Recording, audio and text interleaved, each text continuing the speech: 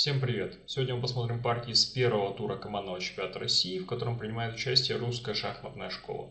Наша команда играет в премьер-лиге и за нее выступают следующие сильные шахматисты. Два международных гроссмейстера Давид Паровян и Арсений Нестеров, а также международные мастера Арсен Кухмазов, Алексей Гребнев, Сава Ветохин, Полина Шувалова и Ольга Боделько. В первом туре мы играли матч против команды сборной Новосибирской области и, к сожалению, проиграли в упорной борьбе со счетом 2,5 на 3,5. Давайте посмотрим самые интересные фрагменты из этого матча. На первой доске в этом матче играли Давид Паровян против Володара Мурзина. Была разыграна достаточно известная табия защиты Каракан – и в позиции после седьмого хода конь bc6 Давид, очевидно, удивил своего оппонента, сыграв dc. Это не самый популярный ход, куда более часто встречающееся продолжение здесь конь а3. И после хода dc черные обычно играют d4, получается достаточно сложная интересная игра. Но Володар, видимо, что-то заподозрил и принял решение не играть d4, пошел немножечко тоже на боковую линию, сыграл dc. В дальнейшем Партия протекала следующим образом. Слон c4, ферзь d1, ладья d1.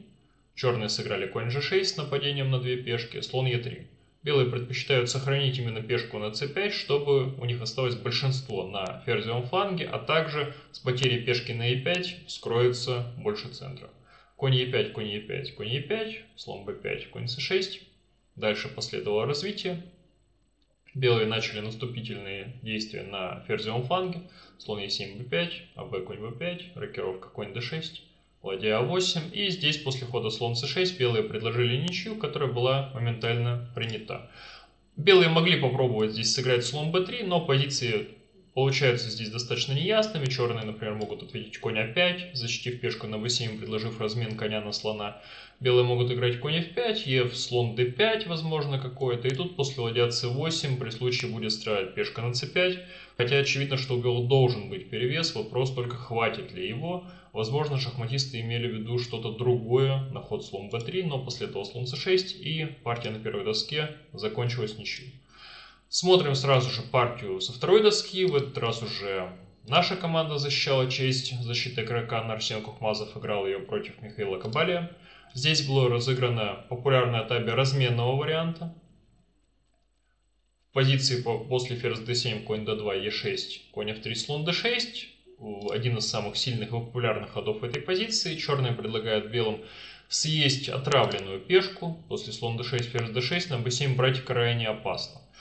После ходов ладья b8, ферзь c6, короткая рокировка, висит пешка на b2. Сразу на b2 мы не ели из-за хода ферзь c8, рановато. После рокировки уже ладья b2 где-то грозит, и после рокировки со стороны белых мы уже можем на b2 спокойно съесть. Если же белые защитят пешку на b2, например, сыграет ладья b1, пойдем ладья b6, ферзь c4, и поскольку белый король находится в центре, пора играть против него, черные в какой-то момент взорвут центр ходом e5, и возможно даже где-то получат серьезную инициативу и атаку. Поэтому брать пешку на b7 крайне опасно, белые предпочитают этого не делать, последовала рокировка, рокировка ладья 1, конь e7. У хода конь e7 стандартная идея с разменом слона f5, черные могут, конечно, разменять слона на коня, но предпочитают поменять именно слонов. Конь e5, слон f5, съели сюда, g4. Белые пытаются бороться за инициативу, но особо на движение пешек здесь на королевском фланге им ничего не дает, черные спокойно отбиваются. В дальнейшем партия продолжалась следующим образом. Конь e7, ферзь b5, опять a4, ферзь c6, предложение размена, ферзь b3, ладья d8, защитили при случае поле d7, оставили поле для коня, ладья e3, конь g6, меняем сильного центрального коня на e5, съели-съели, h3. Ладья b8, черные готовятся к контр-игре с ходом b5, ладья a1, конь e8. Прекрасный перевод коня на поле d6, откуда он будет нападать на поля e4, c4, а также помогать проводить ход b5. Конь f3, b5. К сожалению, партии не было сыграно, потому что после коня f3 белые предложили ничью, которую черные приняли. Могли черные, конечно, здесь попытаться еще побороться за инициативу, но при сильнейшей игре белых, я думаю, они рисковать здесь особо не должны. Поэтому черные приняли ничью. И давайте мы перейдем к следующей партии. Следующая партия, которую мы рассмотрим, будет партия Алексея Гребнева против Романа Кезина. Алексей играл черными. Здесь уже было разыграно у нас каталонское начало, тоже достаточно популярный вариант – рокировка слон g2, dc ферзь c2. И вот здесь Алексей делает нестандартный ход пешкой на b5, который раньше, несколько лет назад, считался вообще не очень хорошим за черных. Здесь черные играли обычно конь c6 или где-то пешка на a5, но ход b5 постепенно входит в моду, и Алексей как раз один из основоположников этого варианта. У него была здесь уже партия против международного мастера Аганьяна Мирана черными год назад, которого он тоже очень быстро и успешно закончил в ничью, не получив совершенно ни одной проблемы в дебюте. Черные сыграли, белые сыграли, простите, А4, слон Б7, АБ. И здесь ключевая идея связана с ходом ферзь d5. Черные хотят забрать на b5 именно ферзем. Рокировка. В партии Аганьян Гребнев следовал здесь ход ферзь А4, но также Алексей не получил здесь особо никаких проблем. Слон d2, слон d2, А6. И партия через несколько ходов приплыла к мирной гавани. Роман же сыграл короткая рокировка. Слон d2, слон d2, ферзь b5, ладья c1, слон e4, ферзь c4, ферзь b2. Ферзь c, простите, ладья a2, ферзь b7, ферзь c7, ферзь b5, ферзь c5, ферзь b7, ферзь c7 и согласились на ничью с помощью троекратного повторения. Если бы белые не повторяли, то не совсем понятно, как им бороться за перевес. Вроде у нас преимущество двух слонов, у нас есть преимущество в центре, но на самом деле слон на e4 стоит очень сильно. При случае черные готовы поставить коня на d5, выведут коня через d7, возможно поставят его на b6. Ну и также не стоит забывать о том, что у черных есть пешка на a7, которая является проходной. В данный момент она особой опасности не представляет, но в дальнейшем, я думаю, она станет достаточно серьезной угрозой для белых, поэтому последовало соглашение на ничью. И рассмотрим еще одну партию, которая закончилась в ничью. Это партия Абгольд-Снестеров. Арсений играл черная в этой партии. Была разыграна популярная табия испанской партии. После ходов d6 белые сыграли а3, рокировка конь c3, конь опять слон а2, последовали небольшие размены, и после хода слон g5 Арсений уже здесь стал понемножечку призадумываться. В целом белые здесь могут поддавливать в таких позициях, но, как правило, черные выходят сухими из воды, как и получилось в этой партии. h6, слон f6, слон f6, конь d5, конь стал очень активно, слон g5. Черные не занимают поле e7, потому что конь собирается исключительно туда. Ну и также при случае мы не боимся сдвоенных вот таких вот пешек, как мы с вами увидим еще в этой партии. а4 сыграли белые борются за инициативу на ферзевом фланге. Конь Е7, конь G5, HG, C4.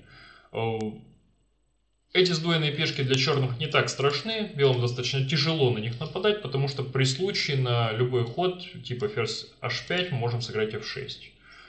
Можем сыграть F6 и защитить проблемную пешку на g5. Белые же сыграли c4, теперь черные на d5 брать самостоятельно не очень сильно хотят брать, потому что после конь d5 cd у нас возникнет отсталая пешка c7, белые еще сыграют как-нибудь ферзь c2, ладья c1 и будут в дальнейшем на, него, на нее давить.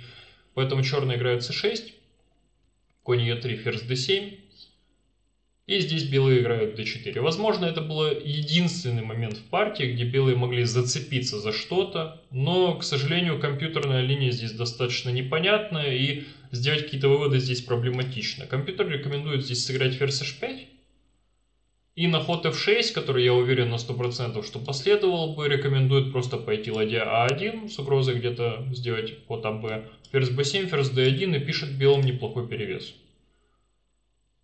Скорее всего, перевес определяется слабостью черного короля и просто более активным положением белых фигур. У них побольше пространства, как ни крути. Уже ладьи сдвоены по линии А, но доказать этот перевес достаточно тяжело и непросто. Партии белые сделали более логичный ход d4, но, к сожалению, он не приводит ни к чему, что дает белым перевес. ед ферзь d4, ферзь e6, АБ, АБ, ладья А8, ладья А8, ЦБ, ЦБ, ферзь d3, ферзь e5, конь g4, ферзь e6, конь e3, ферзь e5, последовало соглашение на ничью. И давайте посмотрим две ключевые партии, э, которые определили в целом результат всего тура. Давайте рассмотрим партию Витохин-Хубукшанов. Витохин Сава играл белыми, было разыграно d4, конь f6, c4, e6, конь c3, слон b4, защита Немцовича. Е3 рокировка, слон d3, ладья e8 делают Хубукшанов достаточно редкий ход в защите Нунцовича. Идея при случае отвести слона исключительно на f8, то есть черный не планирует здесь забирать слон c3 и припасли хорошее поле для своего слона. Конь e2 играют белые, d5 рокировка, конь d7 h3, слон f8, ферзь c2. Стандартная достаточно позиция для ферзевого гамбита, но при этом у белых стоит слон на c1, и черные же успели пойти уже ладья e8, слон f8, достаточно необычно, и играют b6. После хода b6 Витохин принимает решение привести партию к карлсбадской структуре и играет cd, ед и конь f4. В целом, в таких позициях при слоне на c1 у белых все равно сохраняется план с атакой пешечного меньшинства, но куда более часто белые проводят план со вскрытием линий в центре, где-то f3, e4, или немного другой план, который был продемонстрирован в этой партии. Здесь Сава уже стал достаточно серьезно задумываться. Конь f4, слон b7, f3 сыграно. c5. Ну, черный отвечает крайне логично. Понятно, что белые готовят либо e4, либо что-то еще. Надо отвечать по центру. c5 самое логичное. g4 играют белые. Такая идея тоже есть. К сожалению, она не дает какого-то серьезного перевеса белым. Король все равно ослабляется. У черных достаточно простая игра, как мы с вами увидим. Но что-то делать белыми нужно. Потому что e4 провести очень тяжело. Брать на c5 тоже не хочется. Ну и как-то хочется бороться за инициативу белыми, как ни крути g4, h6, ферзь f2, слон d6, конь e2, a5. Тоже очень классный, сильный ход сделали черный a5. Мне нравится с идеей разменять белопольного слона ходом слон a6. Слон d3 у белых чуть ли не сильнейшая фигура в этой позиции. h4, конь f8, слон d2, слон a6.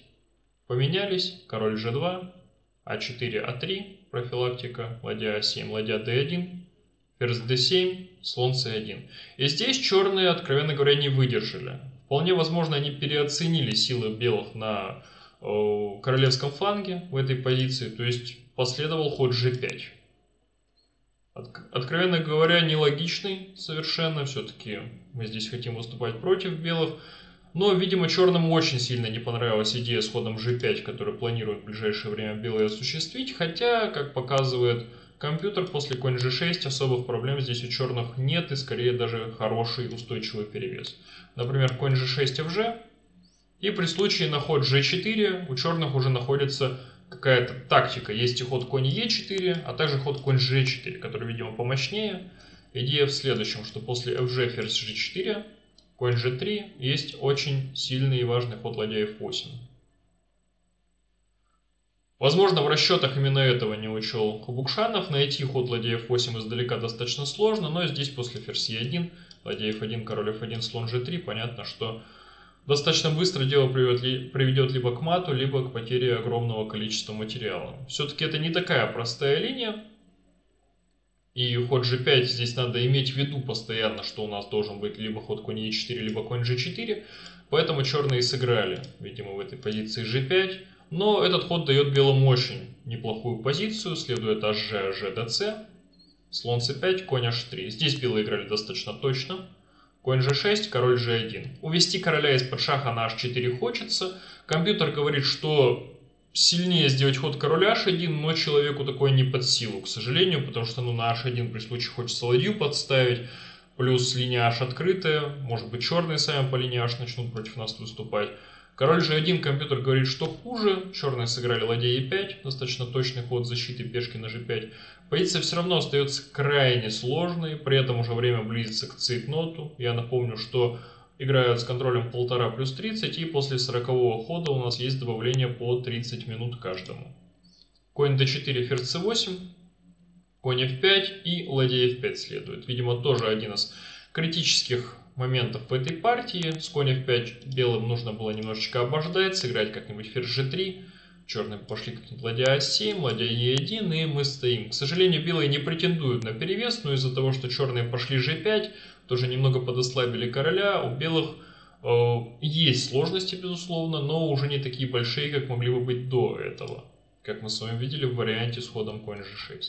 Конь f5 последовало, и здесь черные нанесли очень сильную жертву качества, последовал ладья f5, после чего позиция становится крайне непростой, особенно под цейтнот, защищать это очень тяжело.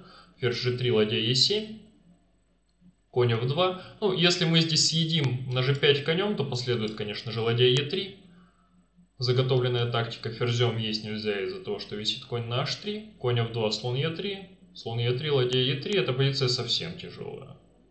И здесь э, черные, к сожалению, для нашей команды реализовали свой перевес без особых проблем. Давайте досмотрим концовку. Съели-съели ферзь e5, ладья d2, конь f4. Постепенно черные усиливались, пешку d надвинули, король хоть и вышел куда-то на f6, но он все равно остается в безопасности. И постепенно, постепенно черные перешли в эншпиль и белые в этой позиции сдались. Ладья d8, конечно, останавливает пешку, но после короля f5 у черных еще есть две связанные. Король g2 можно пойти как-нибудь. Король e4 просто. И грозит конь d4. К сожалению, белые здесь уже не держатся, поэтому они сдались. И давайте посмотрим партию последнюю, в которой белыми выступала наша шахматистка Полина Шувалова против гроссмейстера Дмитрия Бочарова. Была разыграна Карлсбадск, был разыгран Карлсбадский вариант CD и ED слон G5, и здесь э, Дмитрий сделал нестандартный ход C6, слон E7, он пошел слон B4. Тоже в последнее время серьезно набирающий популярность ход. Черные готовы здесь при случае пойти к очень активным и агрессивным линиям, таким как E3, H6, слон H4, G5, слон G3, конь E4 с достаточно интересными вариантами, но белые чаще всего не предпочитают идти в эти позиции, и Полина решила немножечко свернуть, сыграла ладья c1, защитила заранее коня на c3, и здесь можно было все равно прийти к основным позициям после h6, слон h4, g5, слон g3, конь e4, но почему-то гроссмейстер из Новосибирска не решился на это продолжение, сыграл c6, после чего Получилась в чистом виде карлсбадская структура и карлсбадский вариант. Е3H6, слон H4, рокировка. Ну здесь, кстати, если уже пойти G5, то после слон G3, конь E4, конь защищен, и черные сделали ход C6, не самый активный. Обычно в таких позициях черные еще и C5 где-то могут играть, а тут после слон D3, ферзь C5 мы конь E2 еще успеваем защитить коня на c3, у нас преимущество в развитии, черные надвигали пешки, у белых все отлично, у них уже хороший устойчивый перевес.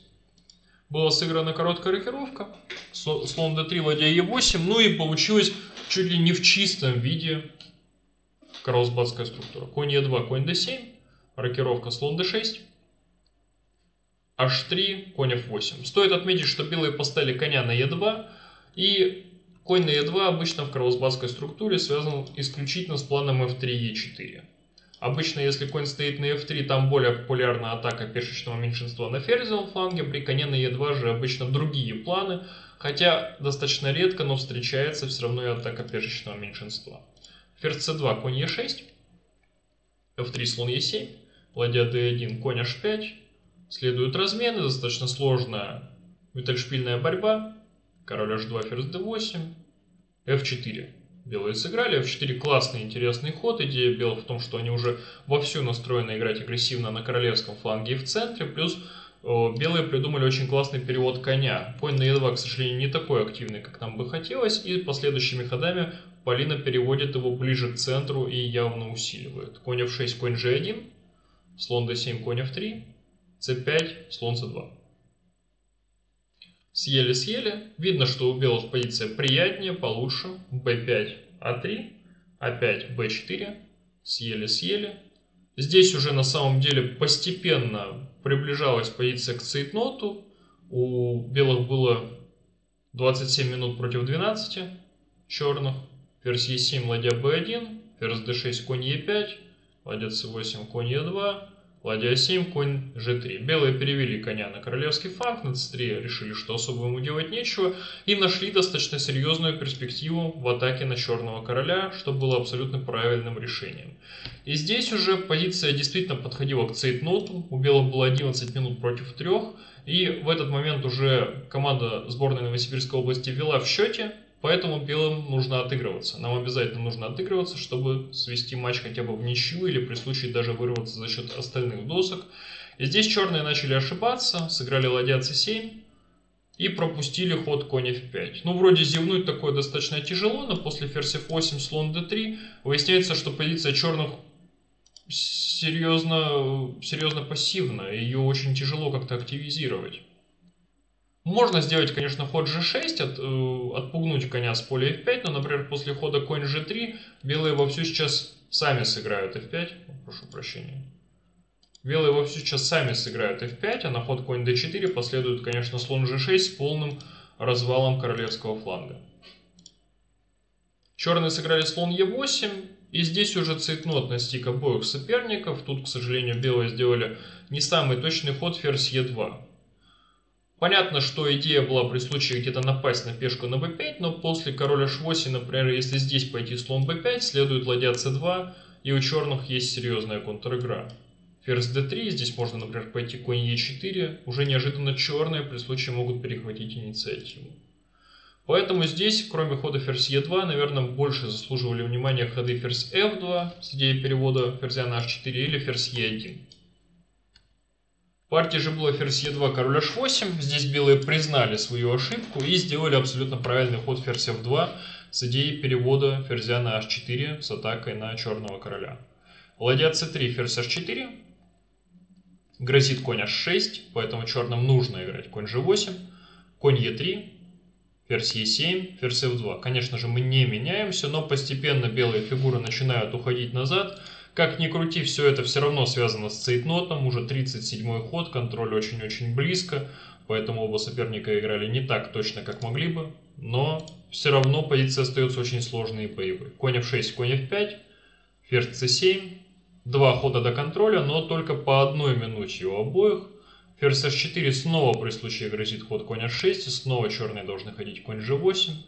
Конь e3 напали на пешку d5, и здесь у черного был контрольный ход, последний перед добавлением 30 минут, и они не сделали лучшего продолжения, не сделали лучшего хода. Можно было здесь сыграть ладья d8, неочевидное решение, особенно в цейтноте, защитили таким образом пешку на d5, а пешку на d4 защитить белым очень сложно.